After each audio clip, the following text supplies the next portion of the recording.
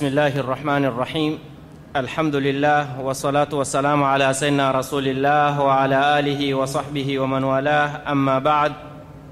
Umuhimu wa haya na namna gani haya na imani zimefungamana zikawa ni kitu kimoya na haziwezi kuepukana.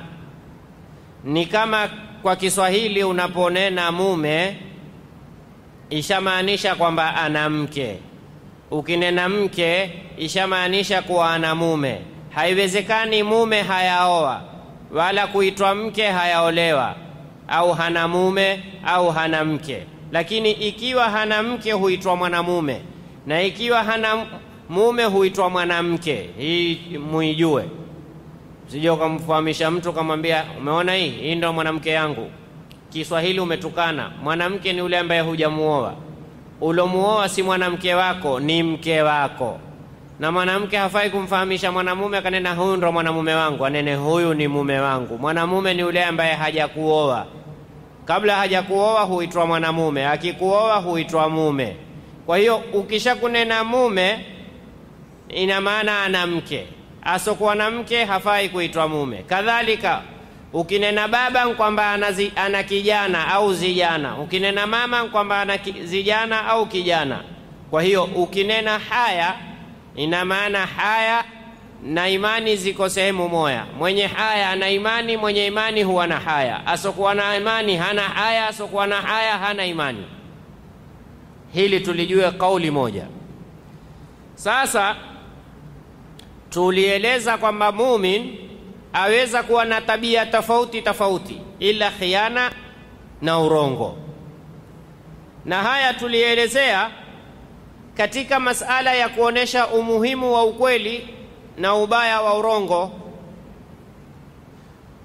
Na angalia wewe umuhimu wa ukweli na hawi mkweli ila huwa mwaminifu, na hawi mrongo ila huwa si mwaminifu. Haiwezekani mrongo awe mwaminifu, na haiwezekani mkweli asiwe mwaminifu. Na hii ndiyo sifa muhimu sana sana sana katika kuamiliana, sawa nkibiashara, sawa nkindoa. Mwangalie katika Qur'ani yule mwanamke waliporudi kwa baba yao, wale wanawake walimwambia baba yao, ya abati staajiruhu inna khaira man istaajarta alqawiy, kwanza ana nguvu kwa hii kazi ambayo kwamba sisi yataka, lakini sifa muhimu alamin, ni muaminifu. Uaminifu wahitajika katika kila nyanja, kila nyanja uaminifu. Hakuna nyanja yoyote ambayo kwamba haihitaji uaminifu mume na mke, uaminifu yatakiwa iwe kwa kipawa mbele sana, na ndipo ukaona ulimwengu wa sasa watu wamekuwa, mke humsita mume simu, mume humsita mke simu, sababu kukosa uaminifu. Lakini waaminia nao, mke wangu, hebu niangalia na mimi kitu fulani, mume wangu, hela niangalia na mimi kitu fulani, mke wangu, mi leo bwana sitaki kushika simu, simu ijao shika wewe. Namna hiyo. Nini? Full kuaminiana, lakini kukikosekana kuaminiana, ndipo pale sasa maisha hule huwa hulegalega, na hakuna raha kama kuishi na mtu wa muamini, na hakuna dhiki kama kuishi na mtu usomwamini. Kitu cha kwanza hakikisha, je, wewe wamwamini kiasi gani? Usiishi na mtu na huku unashakashaka na yeye. Na nikupe kaida, ukidhania usihakikishe katika baadhi ya athari, ukiwa na shaka usihakikishe. Pengine katika rawabiti zaujia, mafungamano ya kindoa, mtu anashaka uambia bwana, usikia siku hizi mke wako na kijike cha siri, basi wasa ashatiwa shaka, ataka kutoa shakani. Wewe yakini yako wajua ana mke hana, mi najua, basi siwe na haja ya kutafiti, mi najua hana, basi usiaje kutafiti. Ukitia shaka usihakikishe. Idha shakakta fala tuhaqiq, ukiwa na shaka usitake uhakika katika jambo ambalo kwamba hukutakwa katika jambo kama lile kutaki, kutaka uhakika. Naam, kuna baadhi ya mambo yatakiwa utaki hakika. Mimi nataka kuamiliana na wewe kibiashara, si makosa nikitaka kujua CV yako, si makosa nikitaka kujua mwendo wako, lakini mimi na wewe twafanya biashara. Sasa hapa shaka shaka hapa haitakiwi. Mume amekuya kutaka kukuoa, una haki kutaka uhakika. Wewe mke wataka kumwoa, una haki kutaka uhakika kabla hujamuoa. Lakini mukioana, musijengeane shaka, na mukijengeana shaka musitake kuhakikisha. Kadhalika Mtume sallallahu alayhi wa alihi wasallam alipomwambia yule sahaba, daahu fa innal haya min aliman, usiwe, usiwe na haja ya kumpa mawaidha kumwelezea bwana, we mbona huna haya, mbona wafanya mambo hayaingilie kiakilini, mbona wafanya mambo watutukanisha. Muate, haya ni katika imani. Ikiwa na imani, imani itamkataza asikose haya. Mumin siku zote huona haya kumwasi Mwenyezi Mungu Subhanahu wa Ta'ala, na ile haya ndo humpelekea akawa na istiqama. Ile haya ndo humpelekea akawa na istiqama katika kuyaogopa maasia. Sababu tutarudia kule nyuma, haya ni muraqaba. Kwa mfano, sisi twajua hoteli, lodging, guest house huwa zina CCTV kamera, lakini si kawaida watu kwa hutembea kwenye milia, yani ndiani. Kweli wewe itakupa utoke na chupi tu useme ngoja nenda kwa rafiki yangu chumba kingine pale, wajua kuna CCTV, basi utoka hapo ukaingia pale tu, lakini haikupi e, kuna CCTV. Sasa ikiwa na CCTV, kwani watakukataza wenye hoteli? Ah, naona haya kuonekana natembea namna hii Eh, basi mumini siku zote huona haya kwa kujua Mwenyezi Mungu Subhanahu wa Ta'ala yuwamuona wakati wote. Hili Mwenyezi Mungu alipenda halipendi, madamu halipendi, nitakuwa na haya katika jambo kama hili.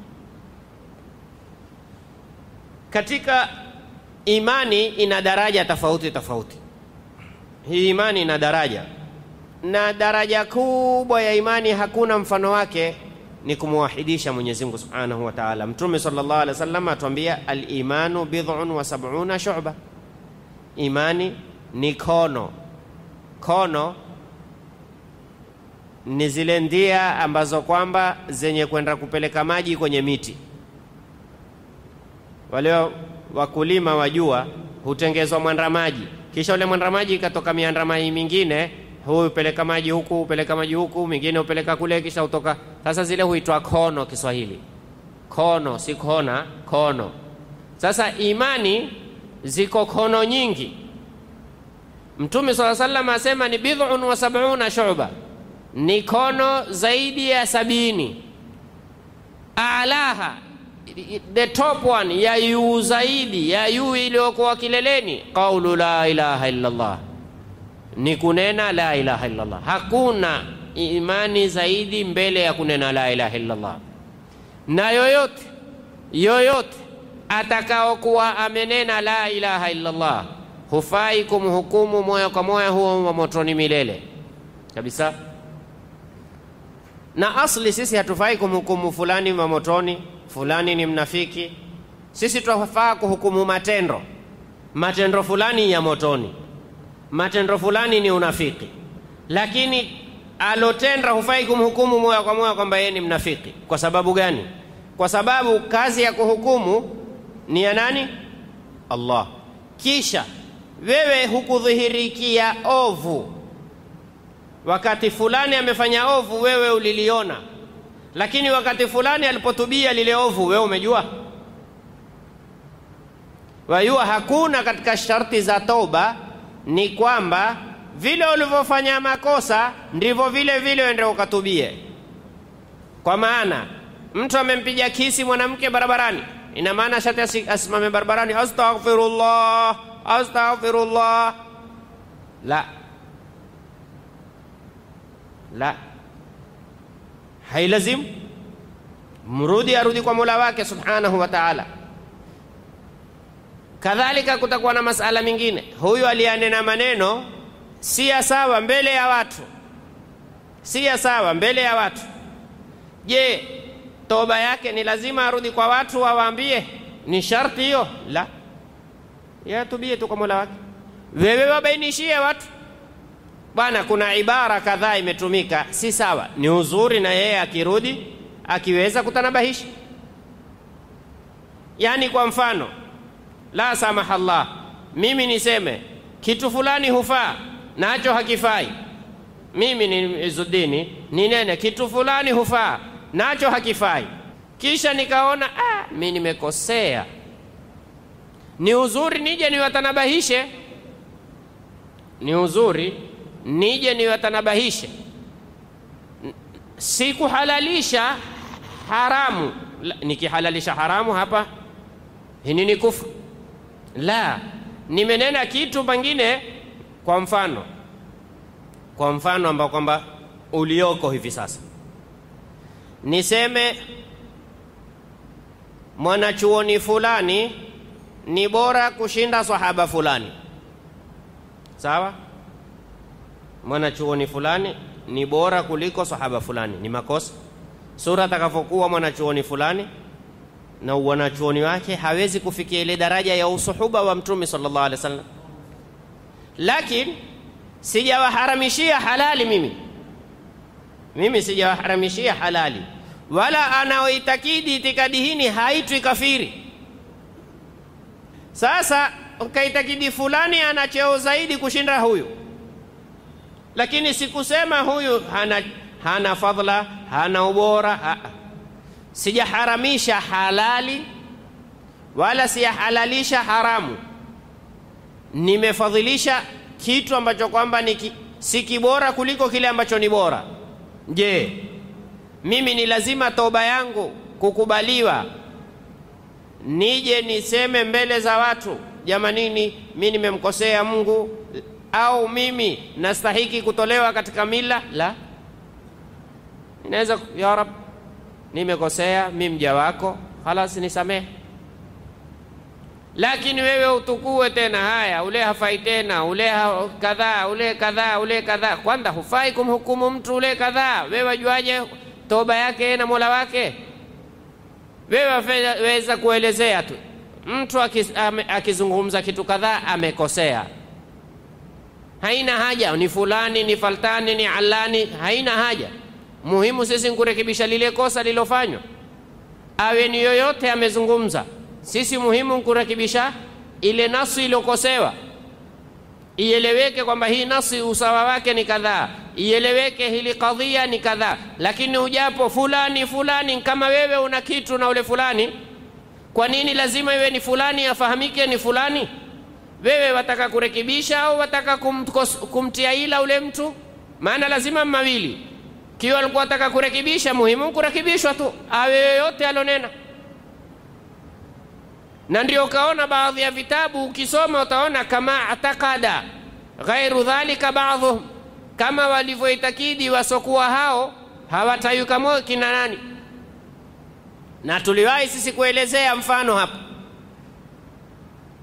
makafiri walikuja kwa Mtume sallallahu alaihi wasallam, watu watatu, maina yao yajulikana wakamtaka Mtume sallallahu alaihi wasallam washirikiane kwenye ibada. Mtume akamwambia haiwezekani hiyo, ikateremka aya qul ya ayuhal kafirun la abudu wala ana abidun wala antum abiduna wala ana abidun ma abadtum. Hakika ya mambo lakum dinukum, kila mwangalie dini yake. Lakini ni nani hawa? Mungu hakuna haja muyue tu kwamba hili lilitakiwa, basi halas, sawa, ni hivi. Utatukua nasi useme, lakini mbona fulani, mbona Firauni amemtaya, mbona Karuni amemtaya? Sasa kuna alotaya, kuna asotaya. Kwa nini wewe usitukue upande ambao hakutaya? Kwa nini wewe utake kutaja useme ni fulani fulani fulani? Una nini na huyu fulani? Muna tatizo gani wewe na huyu fulani? Tufahamu vizuri. Pengine mtu kutaka kunusuru nafsi yake, au kutaka kuelezea uovu wake ulio alotendwa na fulani hawezi. Sasa yeye kuna kosa fulani amelikosea, si masala kwa ataka kurekebisha lile kosa, ataka kuonesha fulani amekosa. Ukieleza itaeleweka. Sisi tumeelewa kwamba makafiri walikuja kwa mtumi wakataka kwa mtume sallallahu alaihi wasallam washirikiane katika dini. Yeye mara abudu dini hii, ah, nyi dini yenu na mi dini yangu. Basi wadda alladhina kafaru, kwani ni wote ha? Lakini wadda alladhina kafaru, walitamani. Rubama yawaddu alladhina kafaru. Ona? Basi, Mwenyezi Mungu hutaya tu, hawatai nkina nani? Kwenye Qur'ani zitele, wa inna minhum wa minhum wa minhum zimejaa. Mbona hatutajii? Muhimu si ajulikane ni fulani, muhimu mulijue tatizo ni fulani. Kwa hiyo mara nyingi hakikisha ukitaka kutatua tatizo, hakikisha muhimu ni kueleweka tatizo. Masala ya kuwa fulani usiamiliane naye, haya masala mbali, lakini fulani amekosea, muhimu ni lile kosa. Hii hatari sana, hili ni jambo baya sana, hii ni kukosa insafu. Kwa hiyo lazima tuwe makini wakati mtu anapokosea jambo, watembeao, wawekao, wanaobuni, wanaodhulumu, wanaonyanyasa, wanaopokonya, basi tuna haja yetu ni hayo, wanaofanya makosa, lakini haja yetu si fulani. Sisi hatuna haja na yeye, wala sisi hatuna tatizo na yeye. Tatizo liko katika lile tatizo ambalo kwamba yeye amevaana nalo. Mathalan, mathalan ala sabili lmithali, wanaorandaranda wanawake usiku, hatuna haja kuelezea kabila fulani hufanya kazi. Anayerandaranda afanya utendo kama hili si sawa, awe atakavyokuwa, awe kabila atakalokuwa.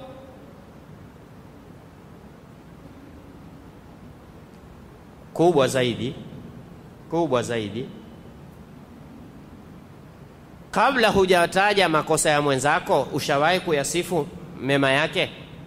Wewe hujajaliwa hata siku moja kutaja mema yake.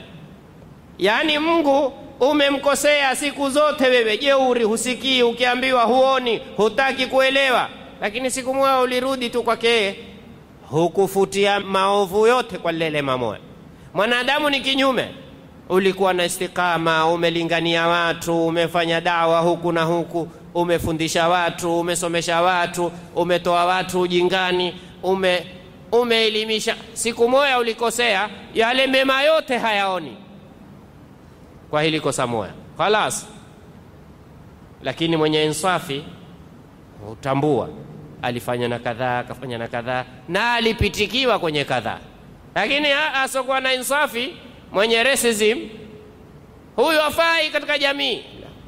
haula wala quwwata illa billah. Hiyo jamii umepewa yako wewe, kama dini lilianda kwako wewe, nafikiri hakuna angesilimu. Kwa hiyo tuweni makini katika matatizo, haswa sisi Waislamu hutoka katika mizani, haswa mashekhe hutoka kwenye mizani. Rekebisha kosa, tukia lile tatizo alokosea, usiwe na chuki na yeye, usiwe na, na kinyongo na yeye, wala usiwe na haja hata kumwelezea ni fulani. Haina haja, haitofidisha lolote ila kuonesha dhaghina, chuki na wivu na hasadi peke yake. Imani, la ilaha illallah. Jamani, ni neno la la ilaha illallah ni zito sana.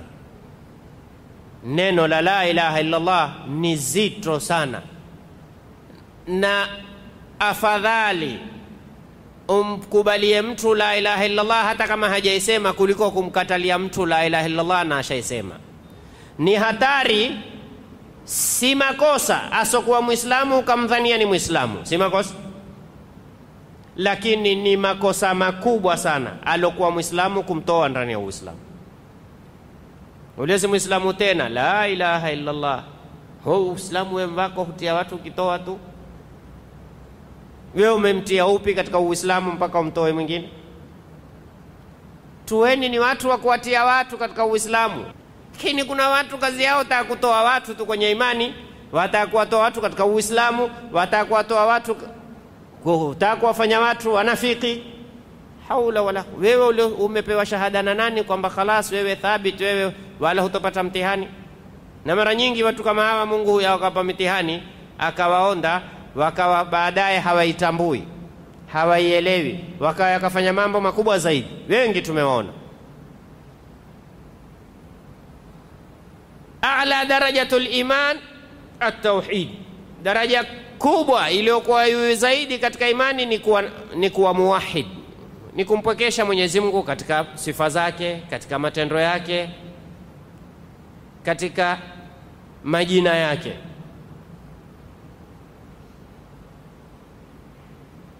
na hii yamaanisha wengi sisi Waislamu tukubali Mungu ni mmoja kwa maneno, lakini vitendo ndo tatizo. Kivipi sasa? Utakuta Muislamu yuaogopa mganga eh, baba usiteze naye yule mchawi kweli. La haula wala quwwata illa billah. Mwenyezi Mungu atuambiaje katika Qurani, wama hum bidharrina min ahadin illa biidhnillah. Hata mganga hawezi kumdhuru mtu ila kwa idhini ya Mwenyezi Mungu. Sasa muogope huyu mwenye kutoa idhini. Ziumbe wote wako chini ya Mungu. Wewe ukisha kumtia Mungu mkononi, yani wewe ukiwa kwa Mungu, khalas hakunaweza kukudhuru. Wama hum bidharrina min ahadin illa biidhnillah, hawezi kudhuru, hawezi kufikishia lolote. Lakini leo utaona Waislamu namna gani waogopa uganga. Kila tajiri ana mganga huyu wa fulani, huyu wa fulani, ule ndo amfanyia mambo fulani bwana, ule ndio amfanyia. La haula wala quwwata illa billahi al-aliyyil azim. Kadhalika kuwacha viumbe wa kawaida, lakini kitakiwacho kuogopewa hatukiogopi. La yakhafanna alabdu illa dhambu, mja asiche ila dhambi zake tu. Hakuna kinachostahiki kuogopewa ila ni Allah, na Allah ikiwa wewe hutomkosea Khalas, wewe ogopa dhambi kumkosea mola wako, hilo ndo liogope. Sisi twaelewa kuna watu majambazi, kuna watu majangili, kuna watu madhalimu, kuna watu matapeli, kuna watu huiulia watu kiholela, kuna hayawani tofauti tofauti wa hatari kina nyoka, kina simba, kina nge kitumbo, hatari hatari. Lakini hawa wote hakuna awezao kuwasaliti wakakudhuru wewe ila kwa idhini ya Mungu. Lilobakia wewe kumwogopa Mungu. Sasa Waislamu wengi watafuta kinga ya hivi vitu na hawajui kinga ya hivi vitu ni ule alioavipao amri ya hivi vitu kinga ya hivi vitu ni kwa yule awapao amri ya hivi vitu. Leo twaona watu hujikinga na vitu vile vile, kinga wewe uliozituma zikulinde ndo zikumaliza, lakini kwa Mungu hakuna hii. Ati mtu amtegemee Mungu kisha Mungu metoka fulani fanya hivi, haitokee hiyo, hayakuna, hayajaliwa. Wallahu yasimuka minan nas. Mulisikia mwaka gani wakati gani baada ya Mtume sallallahu alaihi wasallam kuteremshiwa aya wallahu yasimuka minan nas, kuna mtu amejaribu kutaka kumfanya jambo? Alipokuwa akilindwa ilikimfikia balaa, ilipoteremka aya hini wallahu yasimuka minan nas, atoke amwambia ule sahaba nenda zako, basi Mwenyezi Mungu ashateremsha aya, yeye ndo anayenilinda. Khalas, haikuwahi tena kumpafikia lolote, sababu hifadhi ya Mwenyezi Mungu. Ukijihifadhi na Mungu, Mungu kupa hifadhi ya kiuhakika, lakini ukijilinda na mwingine yoyote asokuwa Mungu, haina uhakika. Siku ya siku utayaona yamekuwa ya kinyume.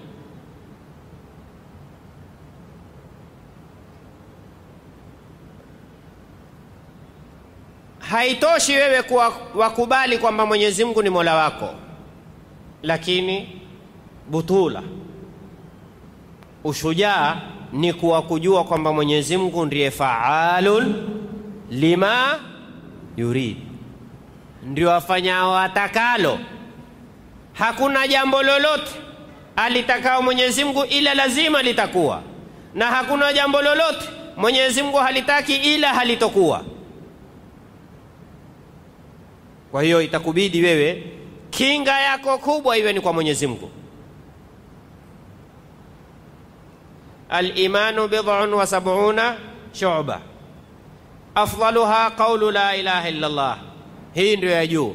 Wa adnaha, na imani ya chini, imatatul adha ani tariq. Hini ni mtu tamwambia una imani ya chini, imatatul adha ani tariq, kuondosha udhia njiani. Umeliona jiwe, mtu atalitamgonga ganda la ndizi, hunu ni udhia wa, wa hisia, lakini kuna udhia mbaya zaidi wa maana udhia mbaya zaidi. Kuna udhia wa kuudhi watu, kunena maneno machafu ndiani, ni udhia wa kuudhi watu. Kutembea uchi ndiani, hunu ni udhia. Wewe umeambiwa ondosha udhia, wewe huweta udhia. Mke wako ndo aeta udhia ndiani, ikawa watu usaa uketi mahala fulani, akasema ngojea, kuna chombo kimoja hutoka saa hizi kikipita, baba hicho, ah, lazima roho hurudi mahala pake. La haula wala quwata illa billah. Wewe umeambiwa ondosha udhia ndiani, wewe huleta udhia ndiani, wewe huudhi watu. Subhanallah, kuondosha udhia ndiani, kutowasikilizisha watu maneno machafu, kutowazungumzisha watu maneno machafu, kutowasikilizisha watu, kutowanukisha watu harufu chafu, kuondosha udhia ndiani. Fikiria, aondoshao udhia ndiani? Ni alama na imani chache. Je, aekaudhia njiani, ikawa watu huogopa kupita, watu huogopa kuitembea njia kama hiyo? Subhanallah, ha? Sisi Waislamu hutekesha sana, yaani mtu hutoka kwenda kuangalia uchafu, wewe ambia uchafu uondoe, wewe henda ukauangalia tena, ukasema mimi ngoja nika wasemaje, nikarushe ngoja nkarushe roho. La haula wala uta, ita, utaipaza siku moja, ipae roho hapo hapo kwenye maovu kama hayo. Nasalullah salama wataala afya. Imatatul adha ani tariqi, kuondosha ndia katika udhia e, katika njia ni moja katika kuonesha uchache wa imani. Kisha Mtume sallallahu alaihi wasallam akaelezea, walhayau shubatun min aliman na haya hakuelezea haya iko kwenye daraja gani, lakini haya ni moja katika alama za imani, na ndio utaona Mtume sallallahu alaihi wasallam, moja katika sifa zake alikisifiwa kwamba kana ashaddu hayaan min aladhra fi khidriha, alikuwa ana haya zaidi ya msichana kwenye chumba chake. Zamani wasichana walikuwa wana vyumba vyao wakikaa, kwa maana wasichana walikuwa hawatangamani na wake wakuu. Wasichana hawatangamani na wake wakuu, wasichana uketi kama wasichana, kwa sababu maneno watakao kuzungumza wake wakuu, yani wanawake wakuu ni wale wanawake wamezoolewa, hawa hawastahiki kuyasikia. Kwa hiyo ule msichana huona haya kukaa mahala yasije akazungumza maneno kawa hajui nini. Sasa Mtume sallallahu alaihi wasallam alikuwa na haya zaidi ya msichana. Hata yeye katika hadithi yake maarufu alikizungumza, la tuhamiru lwujuha, musizibadilishe rangi nyuso mkazifanya nyekundu kwa maneno. Waweza kunena neno wewe kwa kila mtu ule alolisikia huona haya kuliko wewe ulolinena. Kamwona mtu amebadilika, maneno gani huyo anenao? Ngalezi jana, yaani waweza kupita barabarani wewe kama kule kwetu amu, husikitisha wewe. Ukitaka kusafiri na mtu pwani, shati mwambie mke wako tia pamba mashikioni, manake watu waweza wakatukanana maneno, hata lau maneno kama yale sura yanavyochafua mtu, mtu akaogeshwa na maji ya Zamzamu yasim, yasimsafishe. Wao hawafikirii kwamba hapa watu ni wengi, Yeye uangalia, madamu huni bahari ya mwendani wangu, ntampa ntakalo. Mwanamume amwambie mwendani wake mwanamume neno, hata mwanamume kumwambia mkewe hawezi kumwambia neno kama hilo. Wewe utamani aridhi ipasuke, uingie ndani kuona wewe umeandamana na mwanao, limenenwa neno zito sana la aibu kubwa sana, Mkukosa haya hii. La tuhamiru lwujuha, musizivivishe nyuso. Yaani yule mtu anapokasirika, anapoona haya huviva ule uso ukawa mwekundu, ukaona atoka kupikwa. Kwa nini? Kwa uovu wa maneno ya kukosa haya. Hata safari moja Mtume sallallahu alayhi wa alihi wasallam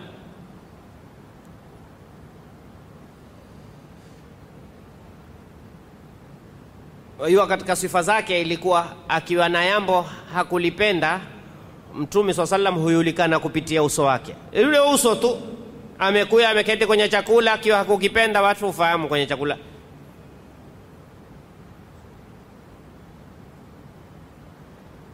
kuna chakula kimewekwa hakukipenda, ye hukitambua tu kupitia ule uso. Jamaa, Mtume hakupenda, au mtu amefanya yambo hakulifurahia, kutafahamika kutokamana na uso wake.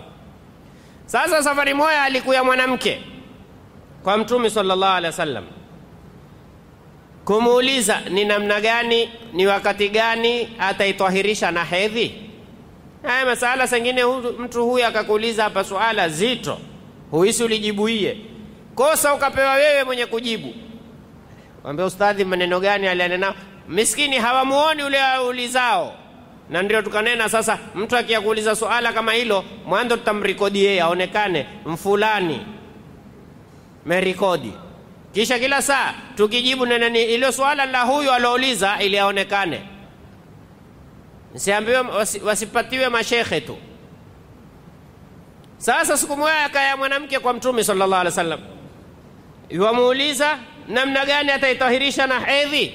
Mtume saa salam akamwambia, khudhi firsatan min miski fatatahari biha, tukua pamba utie miski uweke sehemu yako ya, manake hakumwelezea haya, lakini uelewe pamba utie miski kisha itahirishe. Manake pamba utie miski uiweke kwenye sehemu zako za siri, uondoshe hiyo athari ya hedhi lokuweko ndo kisha ukaoge. Sasa yule mwanamke akamuuliza kaifa atataharu biha,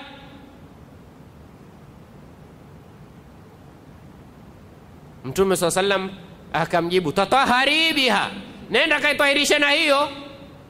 Ule mwanamke akarudia tena kaifa tataharu biha, Mtume saa sallam akamwambia subhanallah, tatahari biha. Saidatina Aisha anena fajtadhabtuha, nikamvuta fakult tattab, tattabii biha athari dam. Sasa Naisha akamsherehesha wewe bwana, umfahamu ule mtume miskini hawezi kunena, wewe utakumbobosha tu akwambie jambo wazi wazi kinaga ubaga. Haiwezekani, hawezi kunena kinaga ubaga. Wewe umemkazania nifanye hiye nifanye hiye, tena ando. Riwaya nyingine alimwambia nitaitahirisha wakati gani? Mtume saa salama akamwambia ukiona weupe. Uweupe namna gani? Haula, akamwambia ili tufaha likiwa hivi bado uko kwenye hedhi, ukilikata huwa vipi? Bado hafahamu. Sayyidatuna Aisha akamtukua mpaka ndani akamkatia, hey, angalia, ukiona kwenye tupu yako kumekuwa rangi kama hii, maana kumekuwa kweupe, hakutoki kitu. Sasa wewe lakini Mtume swalla salam hawezi kumwelezea namna hii. Sababu gani? Kana alikuwa Mtume sallallahu alaihi wasallam ashaddu hayaan min aladhra fi khidriha, una haya sana, na hii ndio sifa itakiwao.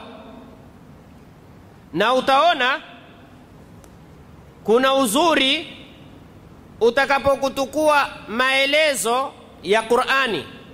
Angalia Qur'ani haielezi mambo sengine kinagaubaga, kutunga haya kwamba yaelezea watu wote, na aisomao ni Mtume sallallahu alaihi wasallam. Ilipoelezea mambo ya kuoga ikatwambia au la mastumun nisa, mkawaingilia wanawake, basi lamastumu nisa, mkiwagusa wanawake. Manake mtu hamgusi mke wake ila kwamba ataka kufanya tendo la ndoa. Haikusema mkiwaingilia, imesema tu ah. Na ndio wanazuoni sasa wakakhatafiana makusudiwa au lamastu ni mulamasa, kudara kwa mkono au mpaka kuingiliana.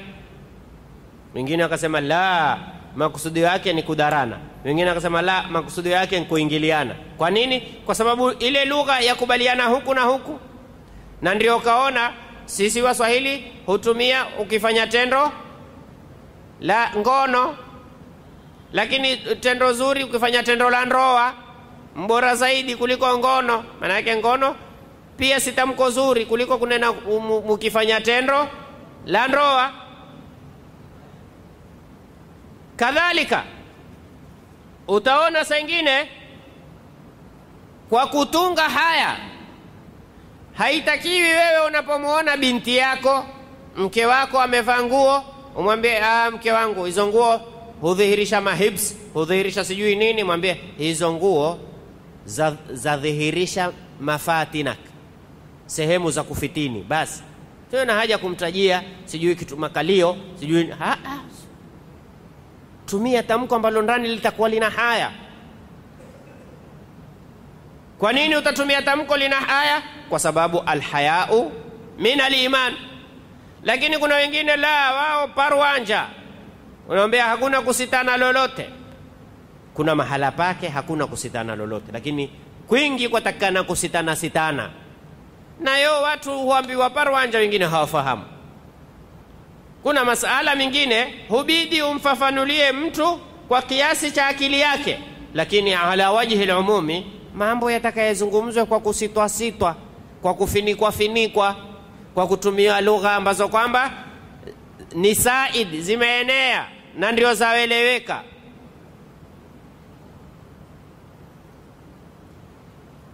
Mtume sallallahu alayhi wa alihi wasallam atuambia istahyu min Allahi haqa alhaya, muoneni haya mola wenu. Masahaba wakamuuliza wakamwambia, nahnu nastahyi min Allahi haqa alhaya, si tuna haya ya Rasulullah. Mmeona mtu akitembea trupu, mmeona mtu akiropoa kwa maneno. Akamwambia sio haya ni ya yao, mwenye kumwonea haya Mwenyezi Mungu haki ya haya hukihifadhi kitwa na kilokusanya, akahifadhi na mwili wake, akahifadhi na tupu yake hata mavazi. Indhibat fi libas min alhaya. saingine waweza kuwa huko uchi, lakini mfano wako wewe nguo kama hizo ni kukosa haya. Sasa umuone mtu mathalan, mathalan mzee miaka sitini mepiga thrikota na chepeo na fulana za kukata mikono yao Hela hutamfasirie mzee kama hoyo? Hutonena na azimu, lakini utanena huyu mzee uvuta bangi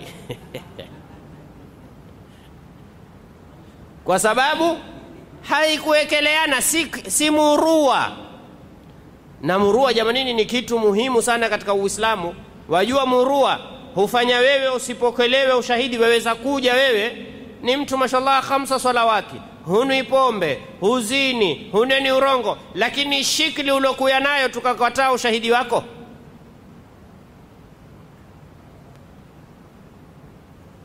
Kama nikwambie tu mfano, we barobaro huyulikani kwamba ni shekhe wala ni, ni msomi wa elimu, umetwilia na ziemba na majuba na nini? Eh, takwambia yameanda wapi haya?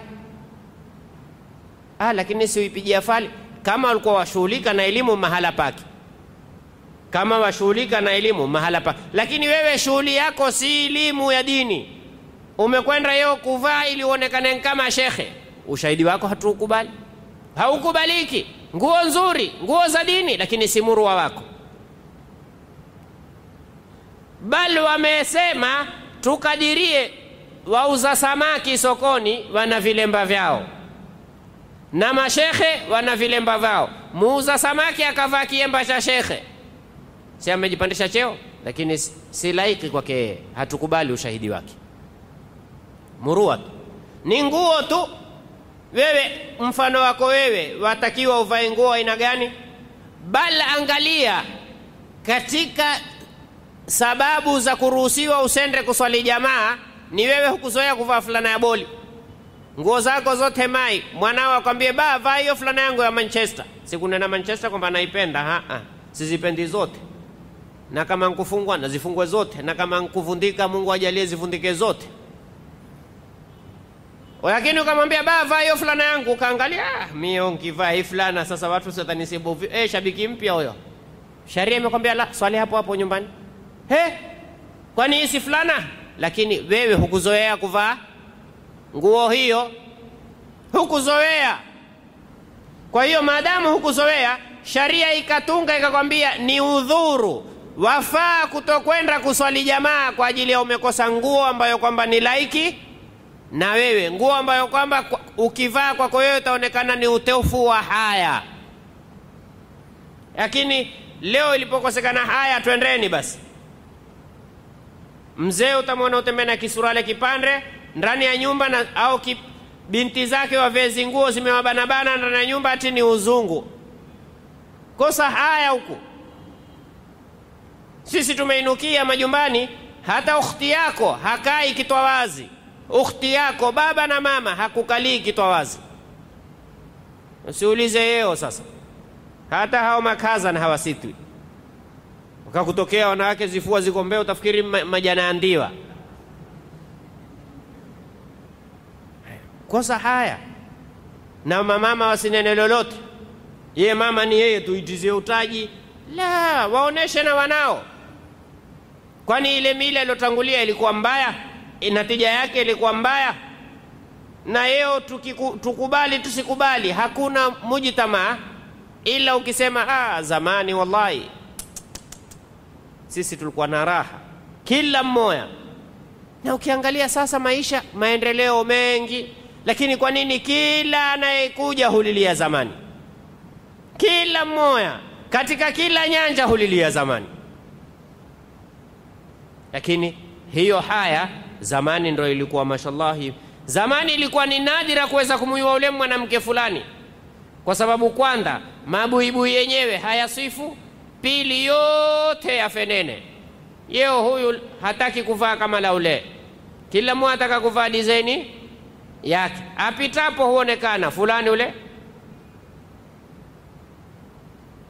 Na Mwenyezi Mungu Subhanahu wa Ta'ala katika masala ya kuisitiri mwanamke alisemaje?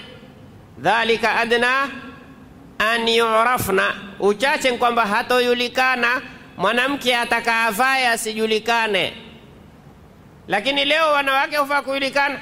Hivi. Ukuntambua buibui lile hakuna alonalo Mombasa. He, wewe ambiwa vaa usijulikane, wewe itu itambulisha mwenyewe. Dhalika adna an yurafna, natija fala yudhaina, kwa sababu huwezi kumtongoza mwanamke humuyui nani. Sisi ni mke wa mtu, sisi ameolewa, sisi hayaolewa eh, nini hujui sisi sijakawa sister, ona sio kama mamangu humuyui, lakini kimepita, umekiona kile yenyewe wazi, kitwa wazi. Eh, cha wapi hichi sister? Vipi, poa? Nao ziko haraka haraka nini? Ukimuuliza we, mbona umemjibu eh, salamu ya Mungu bwana, usiwezi kukataa salamu hii yenu, si ya Mungu, hii ya shetani. Subhanallah. Yake angalia, angalia uslubi wa Qur'ani, dhalika adna an yurafna fala yudhain. Kiwa mwanamke hajulikani haudhiwi. Yo, wanawake wameitunda, wame display, wamekuwa transparent haswa, julikana. Shuga fulani likipita mfulani, shuga fulani likipita mfulani, shuga fulani likipita mf... haina haja kwanza kuhesabu shuga fulani, hawavai hata ninja. Nyi mmeambiwa msipojulikana hamuudhiwi. Yo, toka wazi kisha tena barobaro wa pale hawana heshima. Ukipita ukwambia yeye dada yake umpendeza leo, mi wallahi mume wangu spendi kupita pale na mume na ah, sija wale si stori za barabarani tu, nawe haina neno, siwatukulie wewe we achana, kwani kuna mtu ankugusa? Si atasema tu, atakula kwa macho tu. La haula wala quwwata illa billahi aliyul. Yaani wewe uko tayari mke wako watu wamle kwa mato, kisha huyo ni mke, huyo mume ati ampenda mkewe. Subhanallah, yote haya yamesababisha nini? Daahu fa innal haya min aliman, kiwa na haya angekataza aso haya na imani. Usi, usi, usishangae kwake jambo lolote. Wewe waambiwa usishangae kwa umma, hulinunulia gari yake mfuko akalifinika na mke wake akatoka wazi, kwambia ili gari ghali ha? Yani gari ghali ushinda mkeo? Gari lina mfuko limefinikwa, halipijwa hata na yua, lakini mke huwata wazi. Mwoneni, sadakatun jaria, la haula wala quwata illa billah ila aliyul azim. Musishangae umma wa sasa ukamwona mwana mtu umuuliza mkewe, mke wangu unswali, lakini hamwambii mke wangu ujifinike, jistiri. Yaani sisi tumeswiri ni umma, twaona twaona aibu kuwata mila kuliko kuona aibu kuwata dini. Ah bwana, sisi mila yetu bwana, mambo kuvaa mashuga hayo yamepitiwa na wakati. Si mila yetu sisi, mila yetu kujistiri bwana, si mila sisi ni waz, wazungu wazungu, mambo kizunguzungu siku hizi. Ah, hao wazungu mungewayua kwamba haya mambo yamewakoma hapa. Wallahi, lao mungeyua wazungu matatizo wewe nenda kasome, kuna makala yameandikwa. Wewe ingia kwenye Google, uliza kwa nini a, wanawake wa, wa, wanaojisitiri hawapati raping ataharush, kurepiwa, si ndio hiyo raping? Kwa nini wanawake wa Kiislamu hawarepiwi in USA? Wameelezea sababu moja tu sababu moja tu ya msingi. Sababu gani? Sababu huisitiri. Wajua, huwezi kukitamani kitu kiwa hukioni. Mathalan, mtu amebeba bakuli, Uta, utameza mate na huyui ndani nini?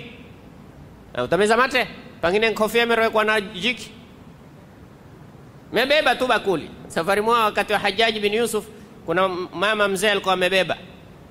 Hajaji akamwambia hey, nini hiyo? Akamwambia sina haja kuifinika basi maana kuifinika kwamba isijulikane. Wewe ukishaniuliza mimi nini hiyo, ningebeba wazi basi. Sasa kitu kimefinikwa, hukijui ndani kuna nini, utatamani mpaka uone, ndipo angalia pilau ile ya nguvu, onesha tena mbuzi ile, angalia biriani nyakundu, kika kupata kiswa cha ule bwana alioingia hoteli. Kuna bwana siku moja alikwenda hoteli, alipofika hoteli haisi kizungu, akaketi, akamwona mwendani wake huagizia. Kaagizia hey, give me this one 40 give me this one. Akaonyesha alama pale, ule bwana akiangalia kwa upande akaona kuna bakuli lekundu. Sasa kumbe lile mabakuli mekundu mawili, yu la biriani, tini la pilipili. Naye akamwambia hey, give me this one, akashiria lile lenye pilipili, akaetewa. Hasa kama una mwendani wake upija pija biriani akiteka, akaona labda nrojo, akitia ni pilipili hoho. Ah! yo mengia choo hata si cha kike chisiwi cha nani, kastahimili. Ule mwendani wake akapiga ile biriani, akimaliza hey again, akasema ngoja nisikilize hicho chakula again ni chakula gani? Akasubiri kiki yetu akaitwa biriani, akaona oh, kumbe biriani huitwa again. Akaitwa hey again, akaitwa pilipili mbona hawa mabaguzi huyu amenena again, ametoa biriani, mimi again huitwa pilipili. Ngoja shahada mara ngapi? Mara tatu. Ule akimaliza hey, once more, akaangalia once more chakula gani, akaetewa tena, akaambia eh, kumbe hichi chakula hichi kina maina tofauti. Hey, once more akaita, alimrushia lile bakuli. Nyinyi mna ubaguzi nyinyi, mimi nimenena vile vile. Umuuliza ule mwanadamu wake, sikunena again. Sasa ule what what hayuyu na nani? Sasa watu kwa kupenda kuigiza hatari, ha, mingine hayakopewi, ndio hayo yakina again. Sasa Mwenyezi Mungu Subhanahu wa Ta'ala alipomwambia mwanamke isitiri usijulikane, alimwekea natija moja, hutovundiwa heshima. Leo mwanamke yoyote ukimwona amevundiwa heshima, asli yake msingi mkubwa nkujulikana. Wallahi, asiojulikana havundiwi heshima wallahi asojulikana havundiwi heshima. Mwanamke akiona amevundiwa heshima, ajiulize ni kipi kilomjulisha mpaka akavundiwa heshima. Lazima kuna kitu, lazima kuna kitu kiliwafanya watu mpaka wakasema, onyesha ni huyu huyu amefanana na fulani, onyesha ndiye huyu, huyu ndio ule apenda apenda uzijana. Haya, anti vipi? Lakini umemwona mwanamke ametoka uvee junjuni lile buibui lile la junjuni lile e, abaya humuisi mbeni wapi wala nyuma ni wapi. Akisimama aweza kuya kwa nyuma ukamsalimia sister, salamu kumbe mbeni huku. Huyu hakosewi heshima kabisa. Kwa hiyo haya ni katika imani. Ukimwona mtu yeye familia yake huifanyia watakialo, usitafute kuna kasoro gani. Jua kasoro iliyokosekana kwa wao ni kasoro ya kukosa haya. Alhayau min aliman walhayau la yati illa bilkhairi, haya ni katika imani na haya haiyeti ila huweta mambo ya kheri.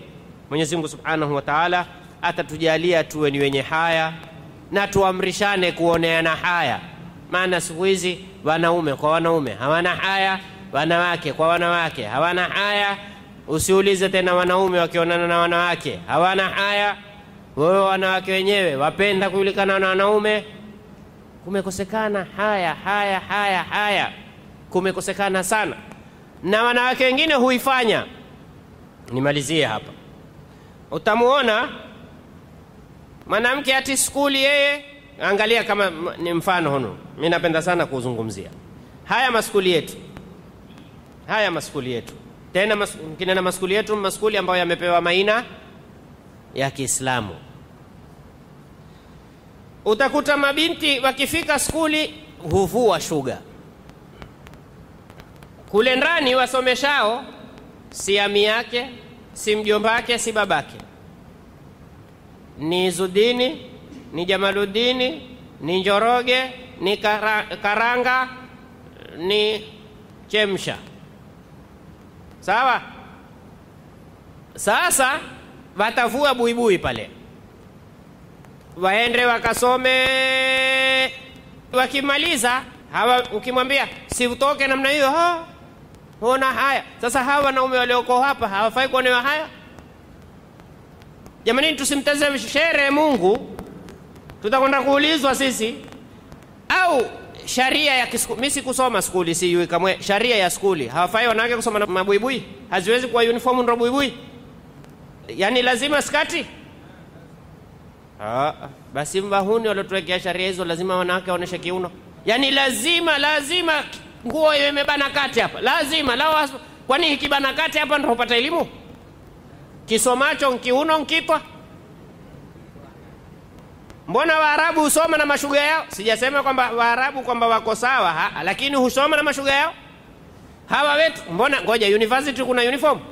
Si masomo yale masomo ya university na ya primary na ya sekondari makubwa zaidi university. Kwa hiyo yale alikuwa yatajiwa abanwe kabisa kiuno, yabanwe kuanzia kifua mpaka kiuno. Mbona university hu, husoma kwa nguo mutaka? University mna uniform maalumu, kila mmoja aenda na nguo zake. Hayo basi, muhimu si kusoma, wae na mashuga. Kwa nini? Mawili, na mimi hunena miskini ma, matatizo sisi wazazi, la kwanza. La pili, mi huwasikitikia wale walimu, wallahi huwasikitikia wale walimu wasomesha skuli kiye kwamba hawa wanawake wayao wamewafanya nyinyi kama wanawake wendani wao, hawawaonee haya.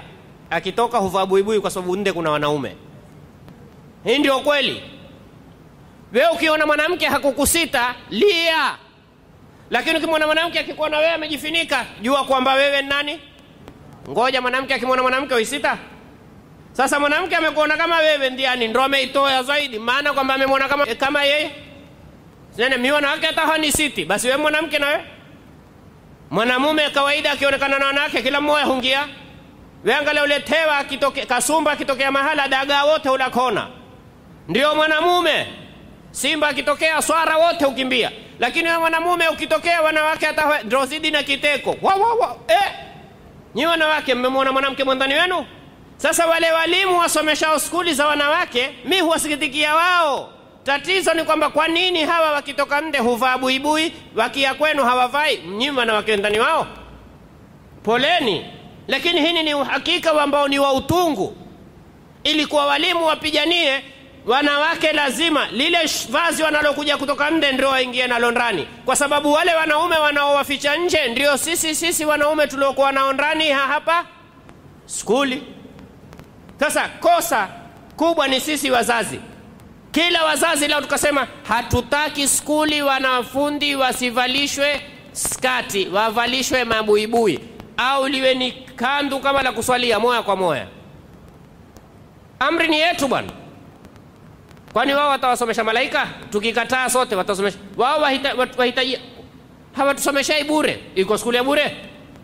Lakini sisi tumekuwa bwerere, amevaa uniform tena uambiwa ma, ma mpaka inibane. Ah, basi mbanie. La haula wala quwata illa billahi aliyul azim. Pili, walimu wakatae, seme bwana, hatutaki.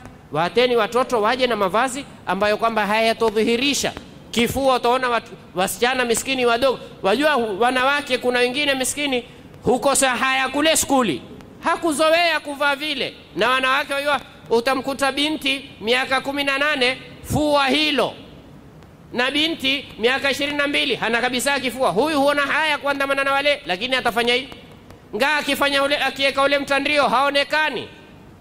Kwa hiyo haya ni mambo yatakiwa yaangaliwe ya sana na, na sisi Waislamu. Sisi ni jukumu letu sisi Waislamu.